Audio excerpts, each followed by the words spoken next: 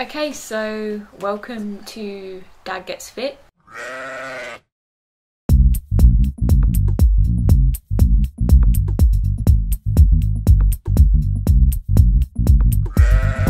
This is Dad. He's gonna get fit. Um, I think first thing to talk about is like, why do you want to go on a fitness journey? Why do I want to get fit? Well, just look at me. I think is the first thing. Um, yeah, so um, I used to not be quite as chunky, let's say, um, and I, I would like to get back to that point again. So there's a photograph here that that um, you can see of me sort of nine years ago. Yeah, put it in the middle. Yeah. Um, and uh, that's kind of what I want to get back to because I felt better, I looked better. Um, I used to do a lot of cycling. Um, as you can see, I was I was up next to my bike. So um, so yeah, I'd like to get back to that because it's just nicer, isn't it? You feel Mm.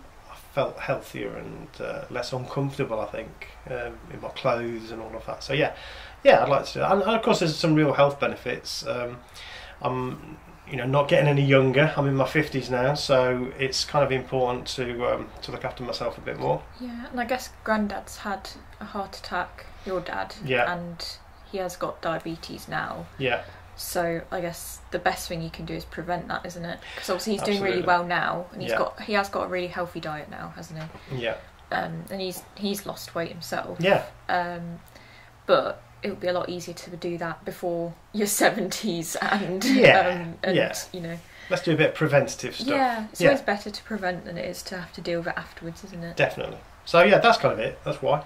Yeah.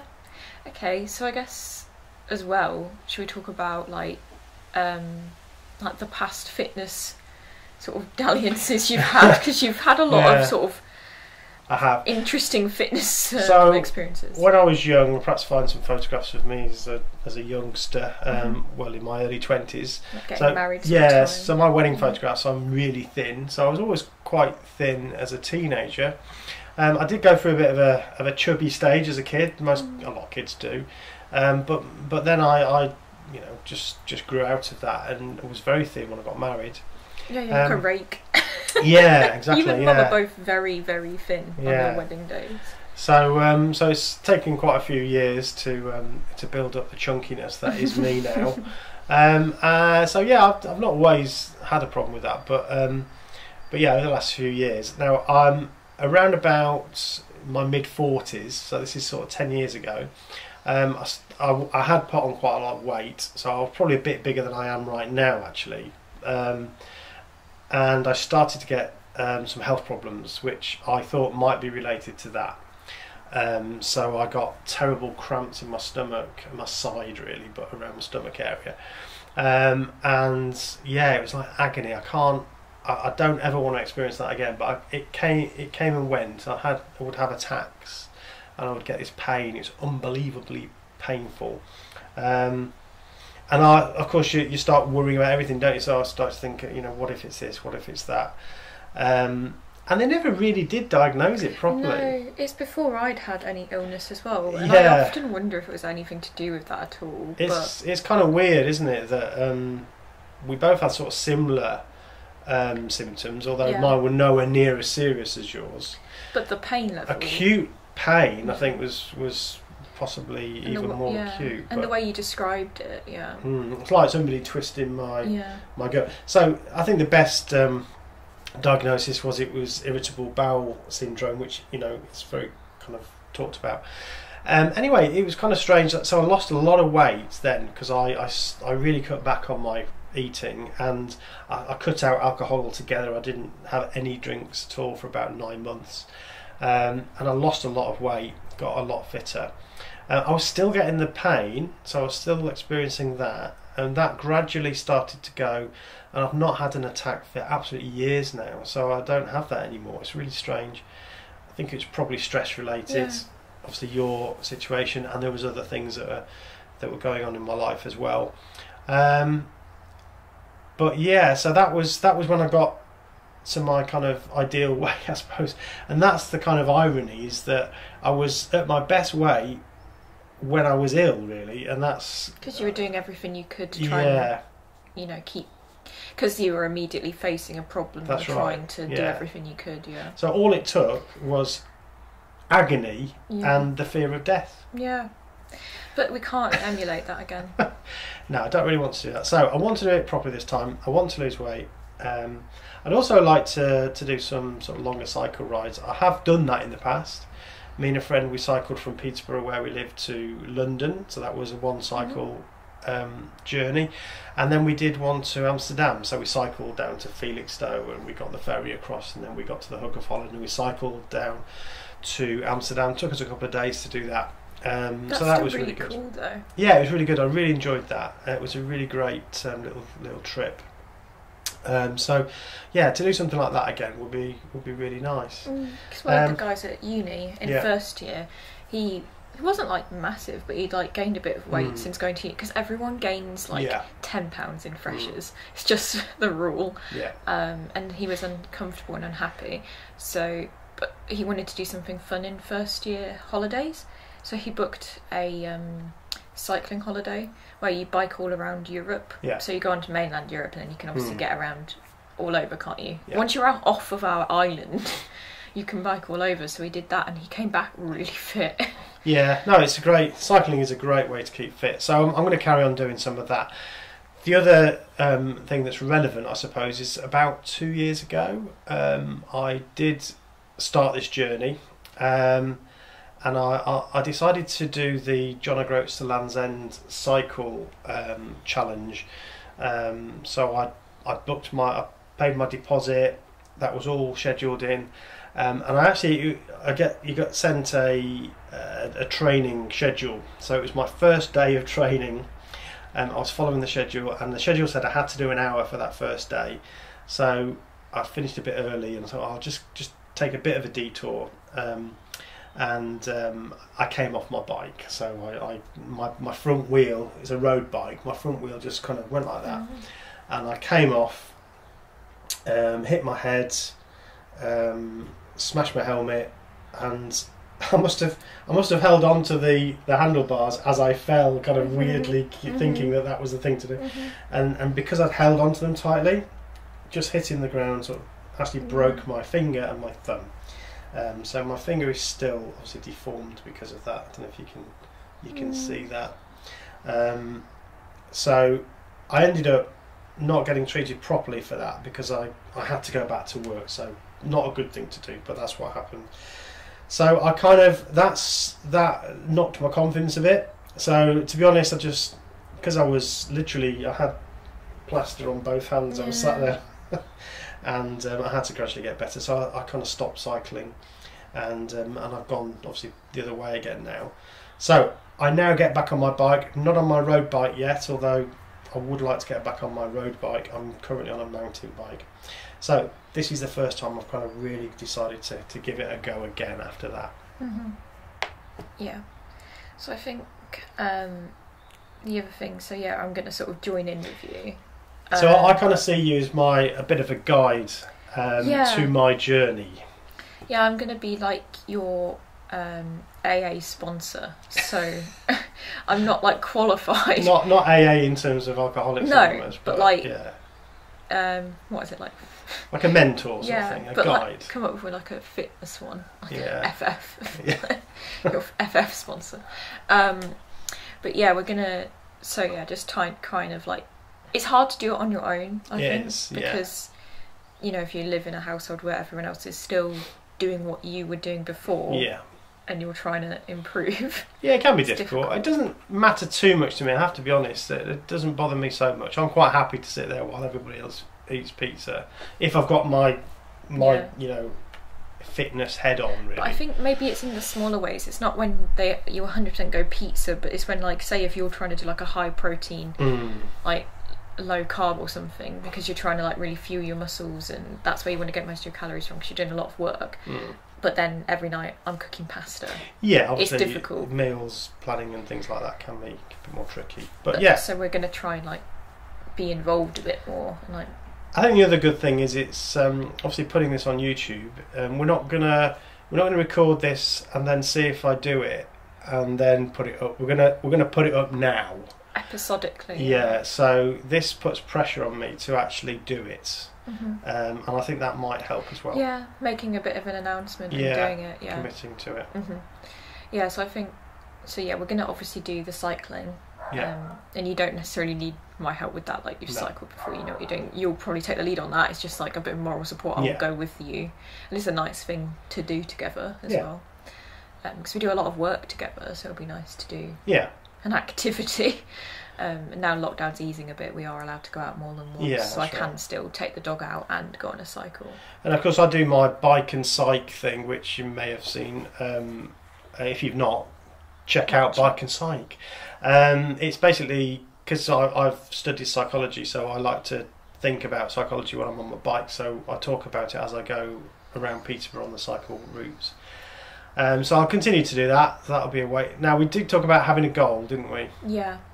So I think we need to set sort of goals um, so that when we do come back on for the next episode, there's something to sort of aim towards and Mm. like spur you on and keep things going. So um, Do I need a, an ultimate goal? Do I need a goal Yeah. to, to aim for? I think an ultimate goal. So maybe if you maybe you could print that picture out if that's like Yeah. your goal. Yeah. Because they often say that thing like, oh, if there's an outfit you want to wear, like put Mm. that at the front of your wardrobe and then Yeah. you can aim it. But maybe yeah, have that picture of you at your fittest, even though you were struggling with like the tummy thing, but you were Mm. really fit in that you could bike Mm. really far and you Oh, were yeah.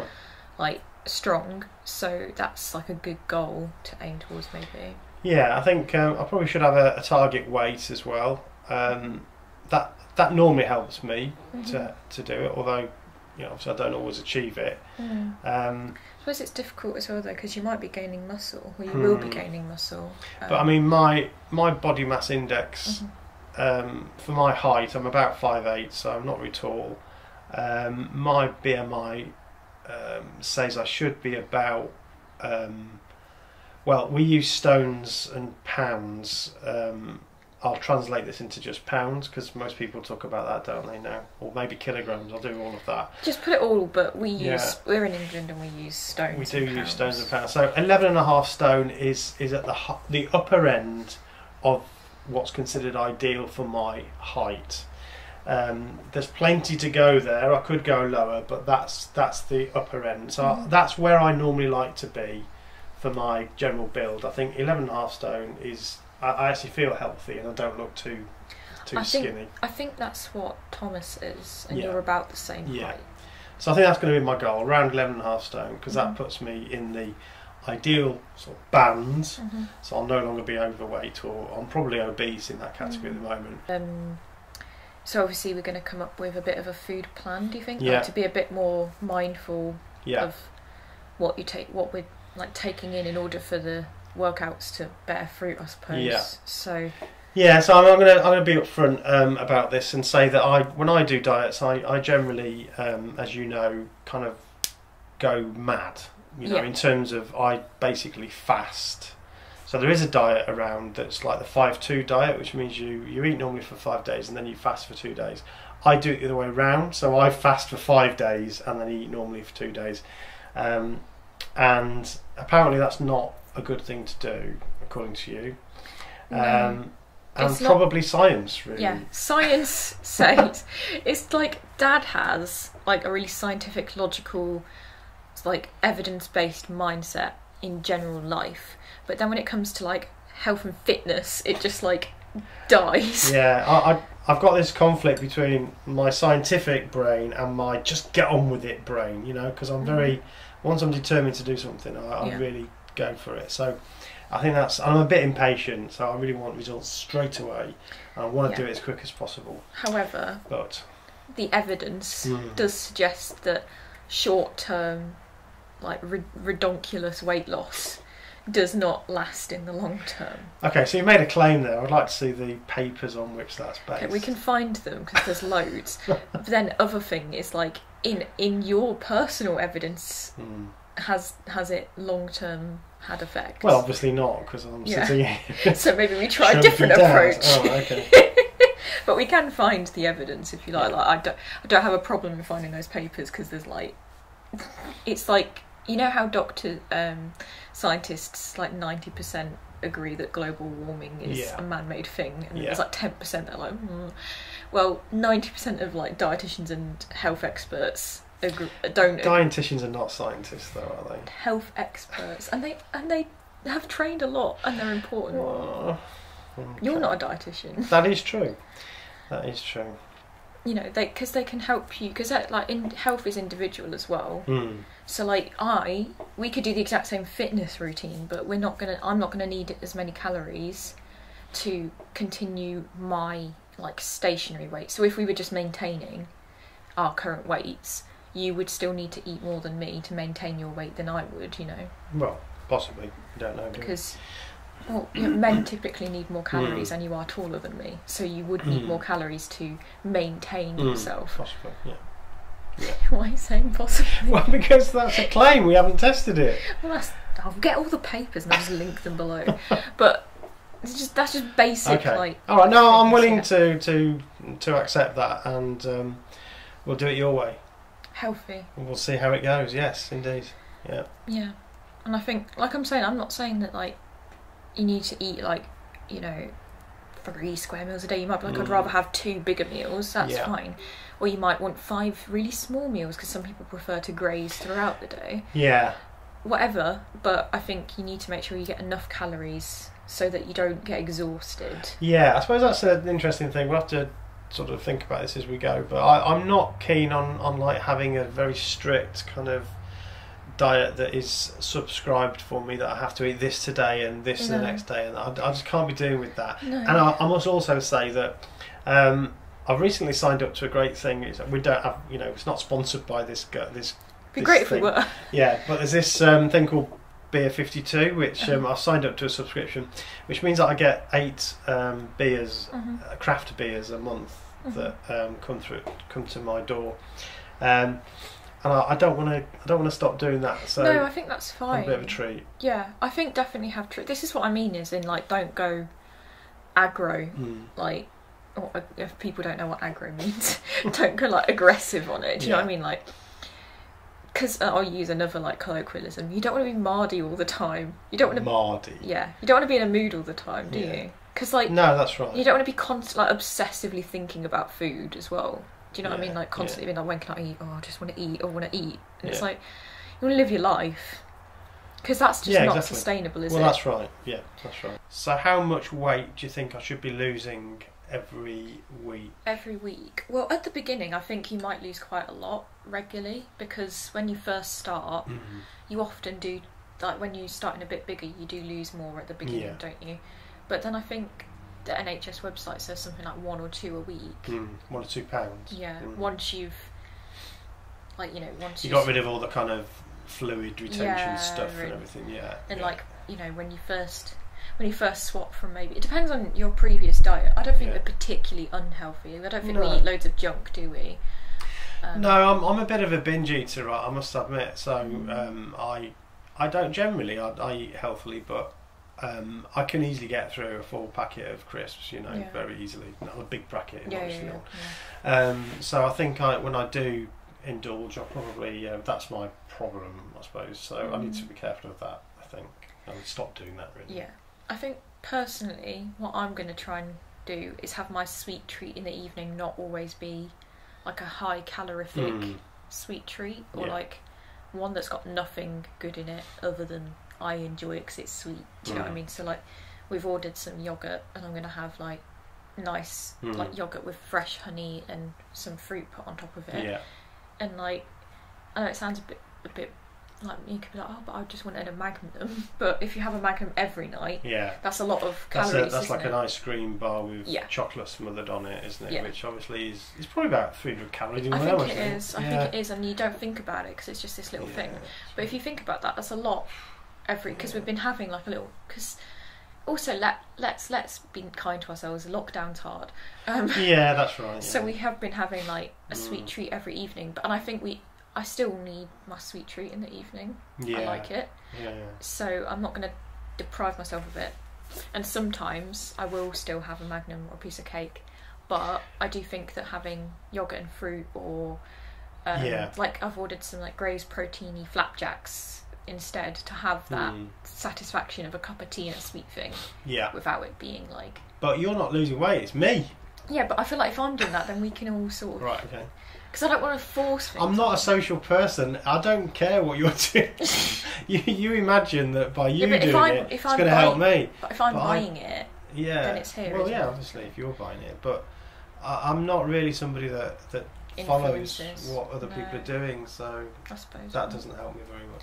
Well, what do you want me to do? Like slap it out of your hand and get an ice cream? I'm like, no. No, well, you can just report back on me to the Yeah, world, I can't you? suppose Just so, uh, tell everybody what I've been doing. But I think, yeah, you're not. It, the thing that's difficult. This is what I think will be our challenge. We should probably talk about challenges a little bit. Hmm. One thing that I think will be a challenge is that you're not like a big lover of the health foods. Like it is a bit of a challenge Hmm. To engage you with the health foods. Yeah, I'm not a big fan of fruit. No. Um, I will eat grapes. I quite like. Um, Yeah. So bowl of grapes, but that in itself is probably the worst fruit in a way because there's lots of sugar in grapes. Um, so they're, they're not necessarily no, that but healthy. but it's in a fibrous thing, so there's Mm. like so it's more difficult to break down. So it's like it takes energy to break it down Mm. and so on. And it's like, wait, obviously when you just have chocolate, it's just it's just sugar. Oh, yeah, So it is yeah. better. Um, I, I I go for the savoury stuff. So Mhm. yeah, crisps and um, snacks, things like that. I can I can eat. Um, but I like chocolate and things like that. I, I like a bit of chocolate, but I, I can be Yeah. very very controlled with that. So one one or two squares of chocolate is enough actually. Mm. Sweet thing for me. It's more that that um, that savoury stuff. So that's the that's the one I need to, to work on the most. I have ordered some savoury snacks that are a bit Mm. healthier instead Yeah. of crisps.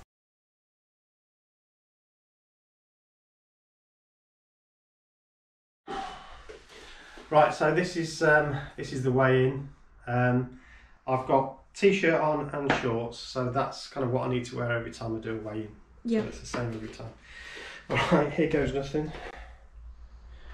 These are the most basic scales you can They're hard to get. read. I find. Yeah, I know, you have to go and like, I can't read them.